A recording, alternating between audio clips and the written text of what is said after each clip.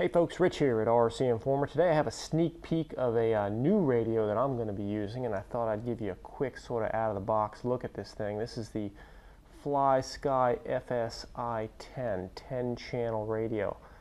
Uh, this is really to me taking uh, radio sort of to an all new level.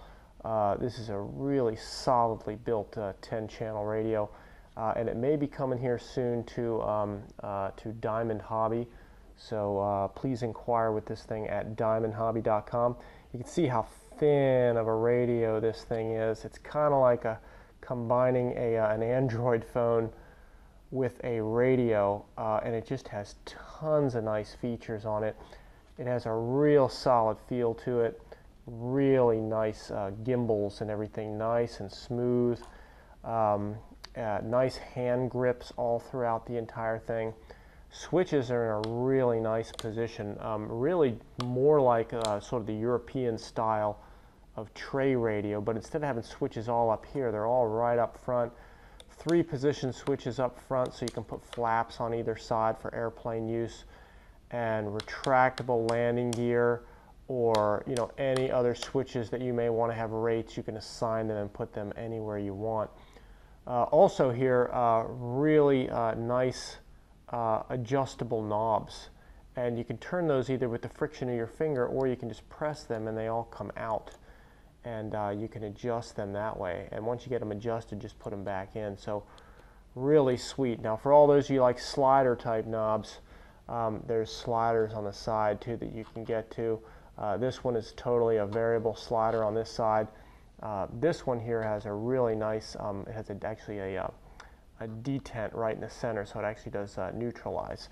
Um, but overall, really sweet, really compact radio, nice, uh, um, you know, movable antenna uh, that you can put wherever you want, and uh, uh, just a, a, super nice design on this thing. Now the base of this thing is rubber; it's nice and tough. It's not plastic, so putting it down, uh, it has a nice, a lot of friction that holds it in place.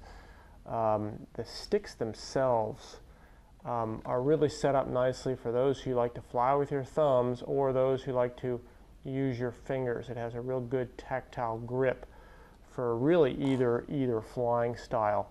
Now, some of the real innovative features on this thing, uh, just flipping it around. I got my bind plug because it does use a bind plug. I, I, usually keep those on my radio right here, so I always have one handy if I need it. Um, but right here on the back, you can see it has a, a trainer and a USB kind of rubber port here that you can kind of open up. And uh, uh, you can see your trainer port right there. And then of course right here, it's a, um, uh, uh a USB port or a, um, uh, uh, a, micro USB hub port that you put in there. and basically it's a cell phone adapter is what that is. So you can charge this really with your cell phone um, charger. Um, and again, just like cell phones, Android phones, and so forth, uh, it uses a single cell, 3.7 volt, um, 1700 milliamp battery pack, which is really sweet. And you can see it just fits right in there.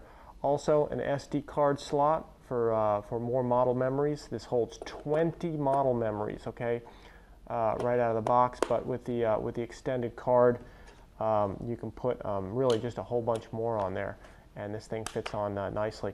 Now again, this thing is ultra slim, very slim radio.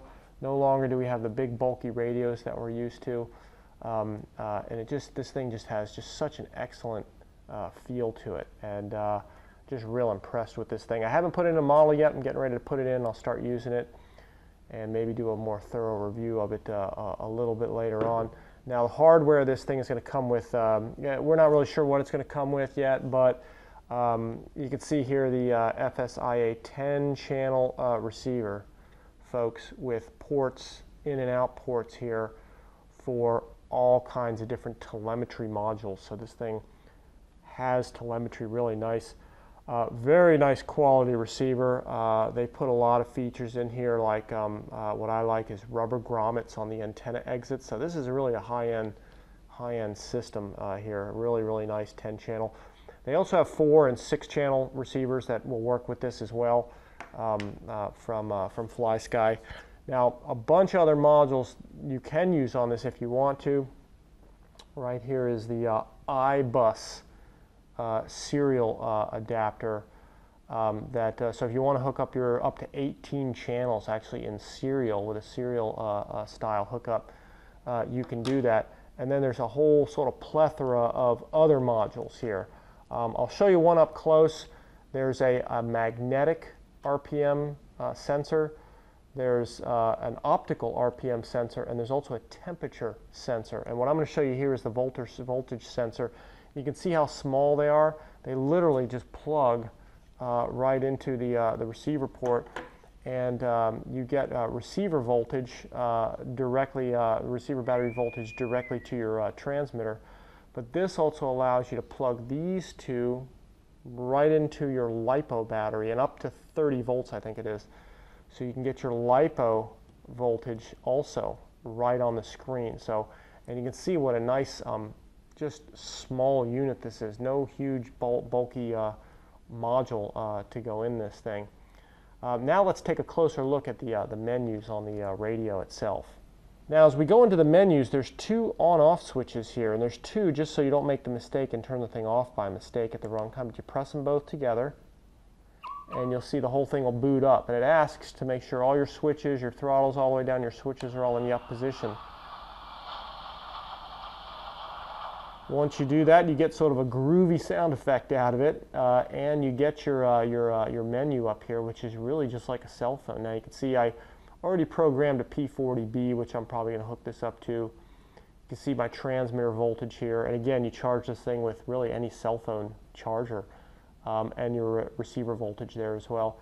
You can see here your, uh, your transmitter voltage is actually displayed numerical here. Oops, I just pushed a button by mistake. Uh, it's anyway, your transmitter voltage is uh, transmitted uh, numerically there also, but you can see your menus and your trim and everything. And anytime you trim, it'll actually go to the menu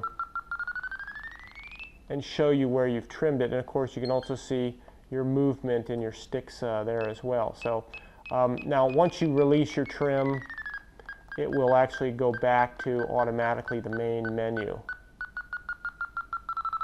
Centralize that, and you see it'll go right back or you can press that button at the bottom. But anyway, you can see a really nice crystal clear screen here.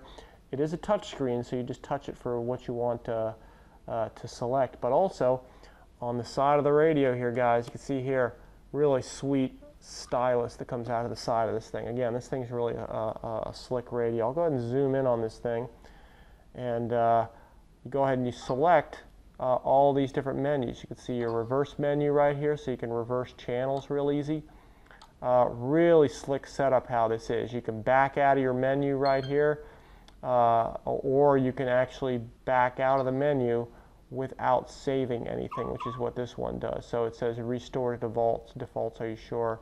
And you select yes. So again, you can use either either um, uh, um, uh, the stylus uh, or really just use your, your finger. So you have endpoint adjustments and so forth you can get into. You can see it's pretty much like a traditional radio, but now with sort of a cell phone uh, style of interface. You can see here the, uh, the, uh, the sub trim menu so you can trim all your channels out and um, uh, all kinds of things. flap functions. Expo is a really neat one uh, to go to. Um, lots and lots of features and you can see how you can plot almost anything on the graph that you need to. Uh, you can see the sticks moving uh, and uh, and where everything goes on the on the on the plot. Now, when you're in the Expo uh, menu, you can select any switch you want, and for really whatever you want. And for example, aileron. Um, you see here, I went in, I selected switch uh, H before, and uh, that allows every time I flip the switch, it tells you whether it's up or down. Um, and then you can go sort of back up into it and take a look at the the rate that I set. Now, it shows the switch position and whether it's a normal rate, okay, or whether it's a, uh, a reduced rate. And you can see here, I have the rate here set at 70%. And then you can go down to your scroll wheel, and almost every channel is this way, and you can adjust the rate, okay, of the, uh, the linear movement. And then you can select things like Expo and adjust your curve here, guys, with this scrolling wheel. So there's really a lot of features that you can do with this thing um, and just very detailed. Again, you can select almost any switch uh, that you want uh, to do almost anything. Um, now, if you're ever not sure what's going on in this radio, the beauty is you can go up here and press the question mark, and it'll give you instructions right here of how to set up everything. So the instruction manual is actually within the radio on almost every page. So um, you know, no need to carry or consult that. Um, um, it's all really right in the radio. So trims, expo, flap, fun flap functions, aileron to rudder, rudder to aileron, elevator to flap mixing, throttle curves, and then there's other, there's, there's two more pages as well. Oops, I just pressed the wrong thing. You can see I'll go to the next page. Uh, aux channels, offsets, um, curves, mixes, you name it, timers as well. There's also a trainer mode in here that you can go into and, and set everything up. Um, and one, one neat menu that I actually like is the um, air, airplane structure. So you can actually modify the type of airplane. So if you have a plane, for example, um, that uh, uh, has a V-tail or, or, or, or, um, or something, so you can select V-tail and go back it actually changes it for you and tells you what it is. If you have spoilers, you can actually add spoilers onto the airplane. Let's see where the spoilers are. Okay, do you have two spoilers? We'll put two spoilers on the plane. So again, it changes the graphical interface for the type of plane that you have. And then um, if you need uh, the mixes for it, it will actually add the mixes. You noticed before uh, there was no V-tail mix in here. Now all of a sudden they added the V-tail mix icon. So you can uh, just adjust all that stuff where it needs to be. Again, you've got a, a, uh, question mark up here to go into explain how to set things up. And also you've got your scroll wheel so you can uh, adjust everything. Really, really slick uh, radio, guys. Um, I'll, I'll, scroll a little farther here to the back. We'll see what the last page is. Um, uh, there's also, again, timers, uh, receiver setup, different models. So you've got all kinds of different models. Again, model memories, again, I programmed in this uh, P40. Um, system menu and so forth, so you can adjust the backlight, uh, the USB function, firmware updates and everything, because everything's software uh, updatable. Um, receiver setup, so if you need to bind a receiver, again, if you don't know what to do, just go to the question mark and it talks all about um, setting up the entire radio. Um, anyway, guys, really slick radio. I just wanted to give you a quick sort of overview of this thing. You can see I can put my stylus right here, uh, right back into the stylus slot. Uh, and uh, and uh, it's just a really slick radio, guys. Anyway, this is the FlySky again, FS um, uh, I-10 10-channel radio with all telemetry, uh, and it's going to be in the low to mid um, $200 range, guys. Very, very sweet radio. Uh, for more info on this, uh, uh, I'll be putting out another video later, hopefully, uh, uh, later on, hopefully, giving a lot more detail on it. Um, but I think this is sort of the shape of things to come, guys. Real thin radio. Um, again, sort of like a merger of, a, of an Android phone and a radio with real easy programmability and uh, cell phone charging, basically using a cell phone charger with a single cell lithium pack. I just love the feel of this radio. It has a nice, um, everything, all the switch position, everything seems to be real nice and reachable. And, uh, and it's a solidly built radio. Um, definitely not a, a, a tinny, uh, tinny machine. Really nice uh, piece of equipment. Uh, anyway, inquire at uh, Diamond Hobby about this thing. Again, it's a new radio coming out. Check with them at diamondhobby.com.